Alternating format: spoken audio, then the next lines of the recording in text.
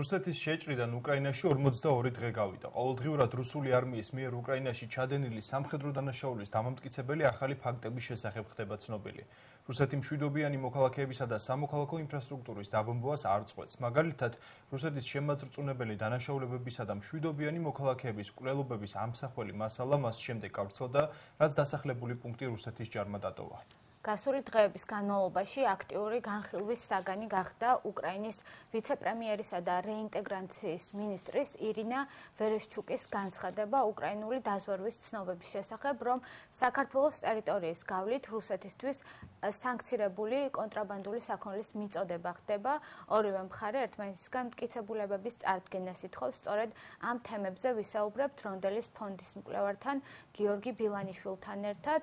მოგესალმებით ბატონო გიორგი გიორგი, მადლობა გადაცემაში მონაწილეობისთვის. მოგესალმებით, მადლობა მოწვევით. საღამოშიდობისა ბატონო გიორგი, კიდევ ერთხელ ჩვენ აი თემის შესავალში ვისაუბრეთ სწორედ იმ გავრცელებული განცხადების შესახებ, რომელიც უკრაინიდან მოვისმინეთ, რაც შეეხება ამ შემთხვევაში კონტრაბანდულ საქონლის შეტანას და საკმაოდ მძიმე ბრალდება და მეორე საკითხი ასევე არის ამ განცხადების მეორე ნაწილი, სადაც საუბარი იყო პოლიტიკურ პირებზე, რომლებიც არ უნდა ჩარეულიყვნენ, თქვა ამ შემთხვევაში ამ საქონლის ტრანზიტის თქვა საკითხში ამ შემთხვევაში მესაზღვრები არ უნდა ჩარეულიყვნენ ესეთი დავალება მიიღეს თითქოს და საინტერესოა ესეთი სიმკვეთრე ესეთი ტიპის განცხადება რაზე მეტყველებს რა გვითხრა უკრაინის მხარემ ამ განცხადებით და რა შესაძლო თქვა შინარსი შეიძლება გამოვიტანოთ ამ განცხადებიდან?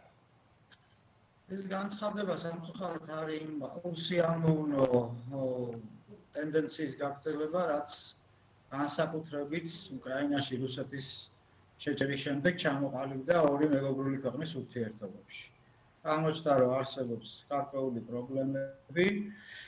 აა ამ ამ ისთაობაზე უკრაინული მხარეც საუბრობს ხშირად და ქართული მხარეც საუბრობს ხშირად.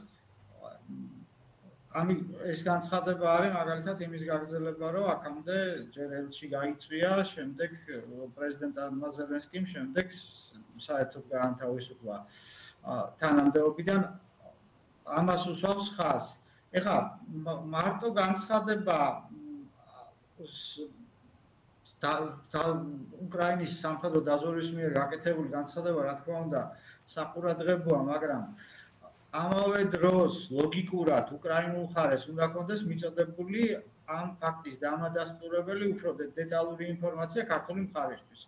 ქართული მხარის მტკიცებით ასეთი ინფორმაცია გაზიარებული არ არის, როგორც თქვენთვისაც ცნობილია 5 აპრილს გამართა მინისტრის მოადგილის შეხვედრა საქართველოს უკრაინის დროებით წარმომადგენელთან, სადაც ეს საკითხი იყო დასმული. შემდეგ საგარეო საქმეთა მინისტრის მოადგილის დონეზეც გაკეთდა საქართველოს საგარეო საქმეთა ministris ის მოადგილეს გულისხმობ განცხადება იმის თავაზე, რომ უკრაინულ ხარეს მოითხოვა ეს მტკიცებულებების წარმოქმნა და მათ ასეთი მტკიცებულებები არ წარმოუდგენიათ. ცოტა უცნაურია ეს ყველაფერი, ანუ დაზვერვის სამსახური, როდესაც აკეთებს განცხადებას, მას უნებრივია, ანუ ნების დაზვერვის სამსახური და რომელიც სამსახურიც არ უნდა იყოს და რომელი უწყებაც არ უნდა იყოს.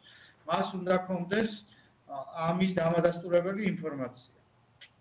ფაქტობრივი გარემოებების აღწერა, რაღაცა ბევრად უფრო მეტი დეტალები ვიდრე ამ განცხადებაში იყო ნახსენები. თუ უნდა კონდეს ესეთი ინფორმაცია, შესაბამისად გაზიარებული უნდა კონდეს იმ ქვეყნისთვის და შეიძლება არა მარტო იმ ქვეყნისთვის. აა მისი სხვა პარტნიორი ქვეყნებისთვის, მაგალითად ამერიკის შეერთებულ შტატებს და ევროკავშირის დიდ ბრიტანეთს და ევროკავშირის ქვეყნებს გულისხმობ, მაგრამ კიდევ ერთხელ ვიმეორებ, ქართული მხარე დღემდე უარყოფს რაიმე ტიპის, ასე ვთქვათ, ინფორმაციის მიწოდებას უკრაინ უკრაინულ მხარეს. აჰა. დიახ, ბატონო გიორგი, ჩვენ მოვისმინეთ ამერიკის ელჩის განცხადებაც, რომ სწორედ ქვეყნებმა და მხარეებმა უნდა ისაუბრონ ამ თემის შესახებ და გაარკვიონ. საინტერესოა ერთის მხრივ კონკრეტულად ამ მეთოდით, ამ ხერხით განცხადების გავრცელება რას ემსახურებოდა და მეორე მხრივ თქვენ საუბრის დასაწყისში ახსენეთ, რომ სხვადასხვა სახის უსიამოვნო ფაქტი დაფიქსირდა მხარეებს შორის, განსაკუთრებით მას შემდეგ, რაც რუსეთი შეიჭრა უკრაინაში, მათ შორის ელ ელჩის გაწვევა ქვეყნიდან. საინტერესოა, რომ ყოველი მსგავსი უსიამოვნო ფაქტის შემდეგ ქართული ოცნება გარკვეულწილად ამა თუ იმ გადაწყვეტილებას ნაციონალურ მოძრაობას და მასთან უკრაინის დაახლოებას უკავშირებს. ამ კავშირზეც რო ვისაუბროთ, მიზეზების სწორედ ნაციონალური მოძრაობის პარტიასთან დაკავშირებით რა იკვეთება და რას ნიშნავს, როდესაც ქართული ოცნება მსგავს კავშირებზე საუბრობს. დავიწყო. მინდა საქართველოს ამერიკის ერთადერთი შტატების ჩის განცხადებიდან იმ პასაჟით რომელიც თქვენ მოიყვანეთ საუბარი ნამდვილად აუცილებელია აა ოღონდ ეს საუბარი მაინდა-მაინც ესე საჯარო განცხადებებით არ უნდა კეთდებოდეს. ჩემთვის აფონზე გაუგებარი იყო ქართული ოცნების ერთ-ერთი ლიდერის მიერ გუშინელ პრესკონფერენციაზე გაკეთებული განცხადება თუ მე სწორად გავიგე ეს განცხადება ქართული ოცნება და შესაბამისად საქართველოს ხელისუფლება ეხლა დიალოგს ანუ ასეთ საუბარს უკრაინის მხარესთან არ მიიჩნევს საჭიროდ რადგან თulis რომ ეს ვითარებას კიდევ უფრო გააუარესებს. ჩემთვის ეს აბსოლუტურად გაუგებარია, როგორც შეიძლება რომ ესე იგი კომუნიკაციის არქონა გამოიწვია ჩემი აზრით ბერწილად ის პრობლემა ან ცუდი კომუნიკაციის კონამ როგორც მინიმუმ თუ სხვა არაფერი არ არსებობს ახლა ის პრობლემები რომელიც ორ ქვეყანაში არსებობს და ეხა როცა კიდევ უფრო გაუარესებისკენ მივდივართ იმის თქიცება რომ ჯობი არ და არ ვესაუბროთ უკრაინულ ხარეს ეს კიდევ უფრო გააუარესებს სიტუაციას ჩემი გადასახედიდან ლოგიკას მოკლებულია. რაც შეიძლება ნაციონალურ მოძრაობას ნაციონალურ მოძრაობამ ის ასე ვთქვათ ოფილი წევრები თუ მოქმედი წევრები თუ მასთან დაკავშირებული პირები მართლაც არიან სხვადასხვა თანამდებობაზე უკრაინის ხელისუფლებაში მაგრამ იცით როგორ არის? თელი ამ ხნის განმავლობაში რაც ქართული ოცნება მოვიდა ხელისუფლებაში ყველაფერი რაც სუდი ხდება და საერთოდ ყველაფერი რაც ხდება ამ ნაციონალურ მოძრაობას ბრალდება რა და თუ ეს ნაციონალური მოძრაობა ესეთი გავლენიანი და ძლიერია მაშინ გაუგებარია როგორ ვერ მოახერხა არჩევნებში გამარჯვება საქართველოსში და წააგო ყველა არჩევნები რაც მას შემდეგ ჩატარდა. მე მგონია რომ ეს ბრალდება ნაციონალურ მოძრაობაზე გადაჭარბებულია. ძალიან ეჭვმეპარება ეხლა რომ უკრაინის ხელისუფლება ნაციონალური მოძრაობის ნაციონალურ მოძრაობაზე დაყრდნობით აკეთებდეს ასეთ განცხადებებს. შესაძლოა გარკვეულ გავლენას ზოგიერთ შემთხვევაში მართლაც ჰქონდა ადგილი მაგრამ აქ ამ შემთხვევაში როცა დაზო ეხლა ჩვენ ლაპარაკობთ თან დაზორის სამხედრო დაზორის სამსახურის მიერ გაკეთებულ განცხადებებზე. როცა სადაზორო უწყებაზე ლაპარაკი სადაზორო უწყებას აქ ერთი თავი დამახასიათებელი. ახასიათებელი. ის არის ყველა ქვეყანაში უნდა იყოს აპოლიტიკური უწყება რა პოლიტიკურ განცხადებებს ის არ უნდა აკეთებდეს და დარწმუნებული ვარ ასე ასე არის უკრაინის დაზორის შემთხვევაში მით უმეტეს მე რაც მსმენია და წამიკითხავს განსაკუთრებით ამ ბოლო დროს უკრაინის სამხედრო დაზვერვის სამსახურზე ის საკმაოდ მაღალ შეფასებებს იმსახურებს სადაზვერო საქმიანობის წარმოების თვალსაზრისით და ეს მისის ასე ვთქვათ წარმატებული საქმიანობა დასტურდება საბედნიეროდ იმით რაც გვაქვს უკრაინაში ბრძოლის ველზე იმიტომ რომ დაზვერვას სამხედრო დაზვერვას ჩემი აზრით მნიშვნელოვანი წვლილი შეაქვს უკრაინის სამხედრო ძალების წარმატებაში. ასე რომ კიდევ ერთხელ ვიტყვი, ძალიან ბევრი უცნაურობა არის და გაურკვევლობა ამ საკითხის გარშემო და ერთ რამეს დავამატებ კიდე რომ თუკი და სავარაუდოდ ეხა ესე ჰაერზე გაკეთებული განცხადება თუ არის უკრაინული მხრიდან ამას საერთოდ არანაირი გამართლება არ აქვს. თუ არაფერი არ გაუზიარებია დიპლომატიური არხებით ქართული მხარისათვის. ესე ცოტა გაუგებო ცოტა კი არა გაუგებარია ჩემთვის მაგრამ თუ რამე აქ დამადასტურებელი ინფორმაცია ეს მალე გამოაშკარავდება. ამა ამას უკომენტაროთ სავარაუდოდ უკრაინის მხარე არ დატოვებს თუ უკომენტაროთ დატოვა ეს ყველაფერი არ მოახდინა ქართული მხარის ასე ვთქვათ რეაგირებაზე პასუხი შეიძლება ნიშნავდეს ორ ამას. ერთი რომ მართლაც ასე ვთქვათ არაფერი მათ არ გააჩნდათ და ისე გააკეთეს ეს განცხადება, ან მეორე შეიძლება რაღაცა ქონდათ, მაგრამ გაუფრთხილდნენ ამ ორფრივ ურთიერთობებს და აღარ ასე ვთქვათ აღარ წავიდნენ გაუარესებაზე.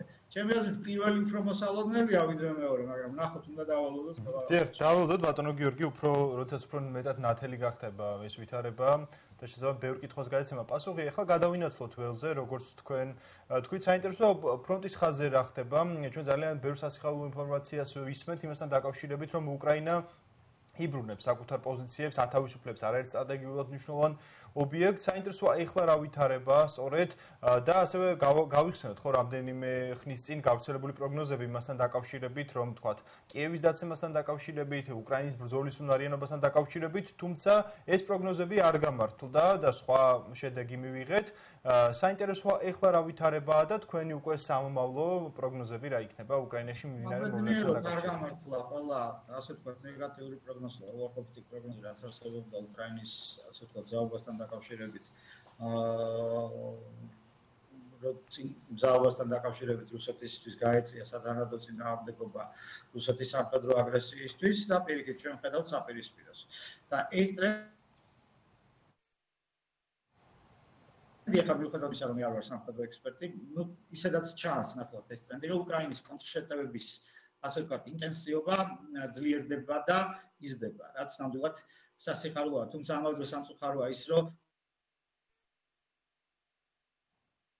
რუსები გაუგონარ დანაშაულს ჩადიან ტერიტორიებზე რომლებიც დაკავებული აქვს და რომელსაც აბსოლუტურად არანაირი გამართლება არ აქვს და რომელსაც საერთაშორისო საზოგადოებამ სათანადო პასუხი უნდა გასცეს. ეხლა მე როგორც მე ჩვენე ჩემი სუბიექტური აზრით ძალიან მნიშვნელოვანი იქნება ხერსონის მიმართულებით მიმდინარეობს უკვე კონჩეტა უკრაინული უკრაინის შეიარაღებული ძალების და თუ ხერსონის განთავისუფლება მოხდა ამ რუსი აგრესორების და ოკუპანტების ოკუპანტებისგან ეს ძალიან მნიშვნელოვანი გარდატეხას შეიტანს საბრძოლო მოქმედებებში. იქიდან გამომდინარე რომ ხერსონს უშუალოდ ყირიმის ნახევარკუნძულისთვის ძალიან მნიშვნელოვანი როგორც სამხედრო ისე აა წყლის რესურსების მომარაგების თვალსაზრისით ძალიან დიდი მნიშვნელობა გააჩნია. რა თქმა უნდა, მეორე ცხელი წერტილი ჩვენ რასაც ხედავთ და ხედავთ საბედნიეროდ უკრაინელების, ასე ვთქვათ, აა მირობას ეს არის ქალაქი მარიუპოლი, რომლის აღებასაც მიუხედავად უდიდესი სამხედრო ძალების მობილიზებისა და სხვადასხვა შეერაღების გამოყენებისა, რუსები ვერ ახერხებენ. ვენ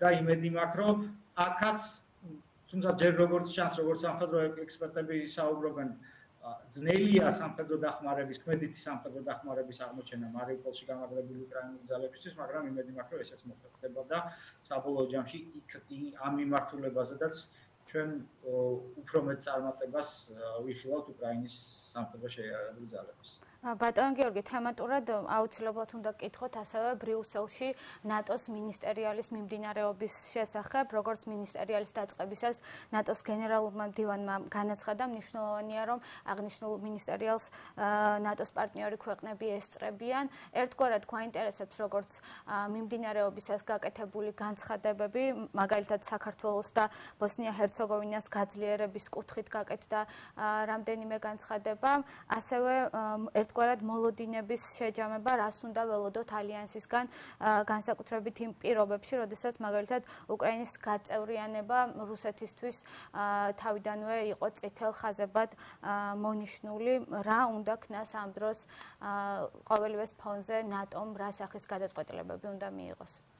დავიწყებ უკრაინით, ახლა გაწევრიანების საკითხში რაიმე გარღვევას მოლოდინი ჩემი აზრით არც უკრაინულ მხარეს კონდა და არც სხვას გაწევრიანების თაობაზე, ნატოში გაწევრიანების თაობაზე აქ გადაწყვეტილება არ იქნებოდა ბუნებრივია. მიღებული ვერც იქნებოდა და არც ამ თვალსაზრისით ამ იმ გარემოებებიდან გამომდინარე, რაც გვაქვს დღეს ჩვენ, ვერ იქნებოდა წინსვლა, მაგრამ მიუხედავად ამისა, ნატოს და დაფიქსირდა ის რომ ნატოს ხარდაჭერა უკრაინის სამხედრო არამხოლოდ სამხედრო არამედ ფინანსური მათ შორის ისეთი ტიპის მოწყობილობების მიწოდებით რომელიც ქიმიური და ბაქტერიოლოგიური არაღისგან დაიცავს უკრაინას უკრაინელ უკრაინელ ჯარისკაცებს ამ თვალსაზრისით კიდევ უფრო გაძლიერდება ნატოს ხარდაჭერა და ასევე ამ ბუჩას ტრაგედიასთან დაკავშირებით დაფიქსირდა ძალიან კაფე პოზიცია, რომ ყველა ვის ვიც პასუხისგებელია იმ ჩადენილ დანაშაულზე ყველა უნდა აგოს პასუხი. რაც შეეხება საქართველოს, საქართველოს მართლაც მიწვეული იყო ნატოზე, ასე ვთქვათ, ნატოს საგარეო საქმეთა მინისტრების სამიტზე, სხვა არაწევრ ქვეყნებთან ერთად ეს იყო ფინეთი, შვედეთი, ბოსნია-ჰერცეგოვინა, ასევე აზიის ქვეყნები, იაპონია, სამხრეთ კორეა და ავსტრალია თუ არ ვცდები, რა ძალიან მნიშვნელოვანია, რა თქმა უნდა, რა რა ითქვა ახლა ნატოს გენერალური დივნის შემაჯამებელ კონფერენციაზე. ერთგვარად პარალელი რო გავავლოთ, ხო? რა თქმა უნდა, საქართველოს და უკრაინას შორის ამ დახმარების თვალსაზრისით ვერ გავავლოთ პარალელს ობიექტური მიზეზების გამო, ერთადერთი პარალელი შეგვიძლია გავავლოთ ყველაზე რელევანტურია ალბათ ბოსნია-ჰერცეგოვინასთან. სამწუხაროდ ისე ჩანს გამოჩნდა ამ პრესკონფერენციიდან, რომ ბოსნია-ჰერცეგოვინა ბევრად უფრო სერიოზულ დახმარებას მიიღებს ნატოსგან ვიდრე საქართველოს. კერძოდ ბოსნია-ჰერცეგოვინის შემთხვევაში საუბარია მისი თავდაცვითი შესაძლებლობების გაძლიერებაზე, მაშინ როცა საქართველოს შემთხვევაში საუბარია მხოლოდ და მხოლოდ სადაზორო ინფორმაციის გაცვლაზე, კომუნიკაციის უსაფრთხო საშუალებებზე და კიბერუსაფრთხოების სფეროში დახმარებაზე. აქ ერთი რამე არის მნიშვნელოვანი ნატო, ეხლა რაღაცაზე დაყრობით ღებულობს, ხო ამ გადაწყვეტილებას ქვეყნებთან მიმართებაში და მათ შორის პირველ რიგში ღებულობს იმაზე დაყრობით, თუ რა მოთხოვნა არსებობს ამ თუ იმ ქვეყნიდან. მათ შორის საქართველოსდანაც. ეხლა თუ ჩვენი თავდაცვის შესაძლებლობები იმდენად განვითარებულია, რომ ჩვენ აი სადაზორო ინფორმაციის გარდა, კიბერუსაფრთხოების გაძლიერების გარდა და კიდე იმ ერთი კომპონენტის გარდა, რომელიც ახსენეთ, მეტი არაფერი არ ჭირდება, ეს ძალიან სასიხარულოა, მაგრამ მე ამას ძალიან ეჭვმეპარებ. მე მგონია, რომ ისმენთ დიახ, დიახ, დაასრულეთ ბატონო. მე მგონია, რომ უფრო მეტი უნდა მოგვეთხოვა ამ პირობებში და არსებობდა იმის შანსი, რომ უფრო მეტად მეტი დახმარება გაეწია ნატოს ჩვენთვის. დიახ, ბატონო გიორგი, ძალიან დიდი მადლობა თქვენ საუბრისთვის. გიორგი ბილანიშვილი, რონდელის ფონდის კვლევარი იყო. მადლობა მოწვევისთვის.